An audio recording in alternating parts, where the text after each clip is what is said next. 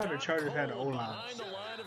Do they not have an O-line? Now the Eagles will use the second of their timeouts as they'll talk it over here before what will be an important third down. Defense? Yeah, I do, man. That center got pumped. Did he ever?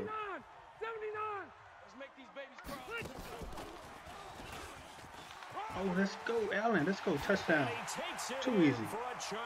Let's go. Got him with a Johnny Cage.